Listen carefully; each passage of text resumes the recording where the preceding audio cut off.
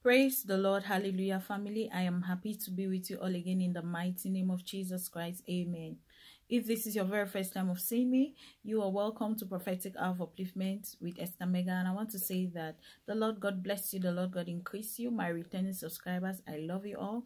Those that are just clicking here for their first time, I love you still.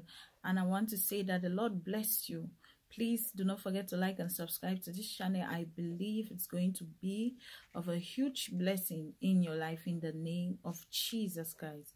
Amen. I make this prayer for you this day that may the lord god bless you may he keep you may he preserve you as he causes the light of his countenance to shine over you in the mighty name of jesus christ.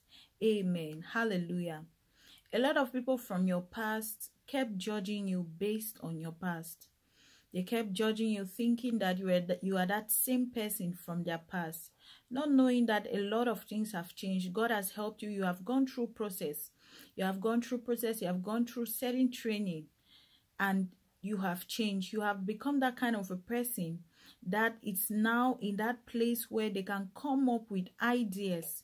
They can they can actually come up with ideas they can actually come up with suggestions that will bring or cause a lot of change cause a lot of change in the life of people and by the grace of god you have been influencing lives hallelujah you come up with great ideas you come up with great strategies on how things can become better and these people from your past never expected that you will be this kind of person that others will look up to.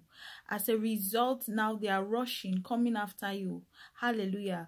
They are rushing, coming after you because they did not expect, they did not know, but they are doing this in shame.